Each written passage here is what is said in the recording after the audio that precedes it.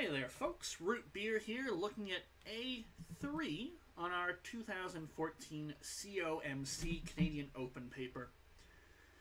Uh, what have we got? A positive integer m has the property then that when it's multiplied by 12, so when it's 12m, the result is a four-digit number n of the form 2000AT2 for some digit a. What is the four-digit number n?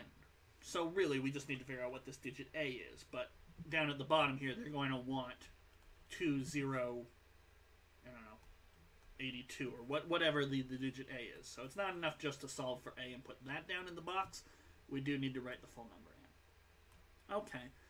So what this really amounts to is we need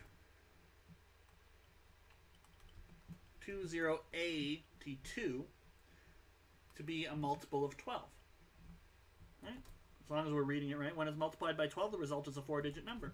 So how can we figure out what a we should get to have a multiple of 12?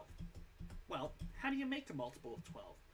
12 is 4 times 3. You know, you might say, well, it's also 2 times 6. Why are you writing this 4 times 3? 4 and 3 can be written as powers of prime. So we're completely separating it out. So, and because they have, uh, 4 and 3 have a GCD of 1, they, they have no factors in common, it is true to say that 12 divides a number exactly if both 4 divides that number and 3 divides that number. And it is a lot easier to test divisibility for 4 and 3 than ju to just straight up test divisibility for 12. There are tests for these things, uh, tests you might know about. So to divide th by 3, you, you, you 2, 20A2 is only divisible by 3 if the sum, 2 plus 0, the sum of the digits, is divisible by 3. So this limits the range of possible values for A. Similarly, so these are divisibility rules. There's tons of them. You might know some of them. You might not know others. They're good things to know.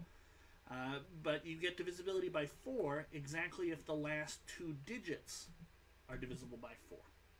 Okay? And this makes the question a lot simpler. So A, what could A be? Well, A is just a single digit. It's somewhere between 0 and 9.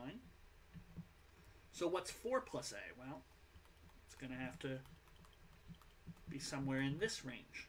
So what are the multiples of 3 in this range? Well, 4 plus A could be 6 or 9 or 12. And then A could be 2 or 5 or 8. So those are the possible values for, for A. But then what does A2 look like? Well, it could be 22 or 52 or 82, but only one of them is a multiple of 4. Okay? The other two leave a remainder of 2 when you divide by 4. So that really forces A must be 5. And so what's our final answer? Not A, but N. And we want to figure out, okay, 2052. And there we go. And if you wanted to, just to double check, is this divisible by 12? Well, you could just really quickly do long division by hand. Uh, how many 12s go into 85? 7 uh, with an 84. And there we go. It's, it's 171 times 12. And there we have it. So that was uh, A3. Up next will be A4, and that'll finish off part A.